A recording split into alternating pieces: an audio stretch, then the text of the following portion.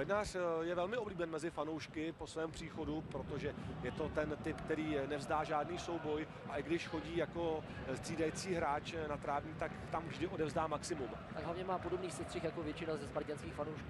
A i jako ty. Teď eh,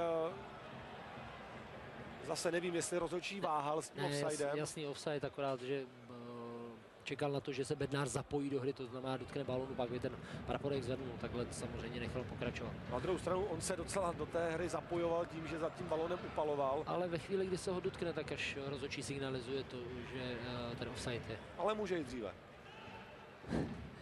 A je na hlavním, jestli to písne nebo ne.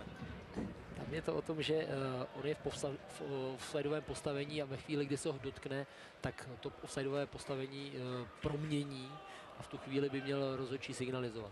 Ale rozhodčí může signalizovat offsideové postavení a hlavní se rozhodne, jestli to píská nebo ne. Ale pojďme nechat této akademie diskuze. Každopádně, když jsi mluvil o tom Lukáši Váchovi, i styl